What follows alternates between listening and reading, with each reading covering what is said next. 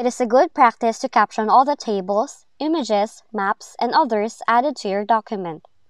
And in this video tutorial, we would show you how you can easily add captions for equations in Microsoft Word.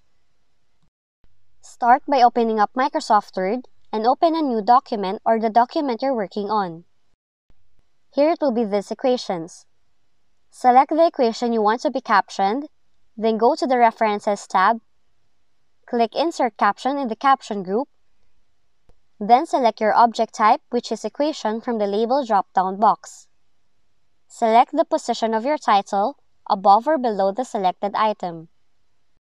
You may also want to change the numbering format by clicking Numbering in the Caption dialog box. Then click Include Chapter Number checkbox to add the chapter number. You can also select up to what heading level included in the numbering and the separation character between the chapter number and the object number. When you're done doing that, click OK.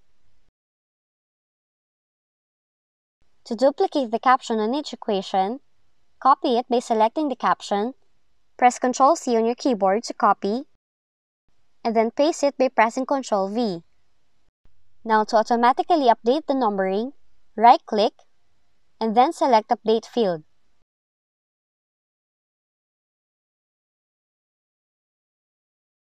That's how you can create captions for equations in Microsoft Word. If you found this video helpful, kindly like and subscribe. You may also click and turn on the notification bell so you can be notified from whenever we release new videos.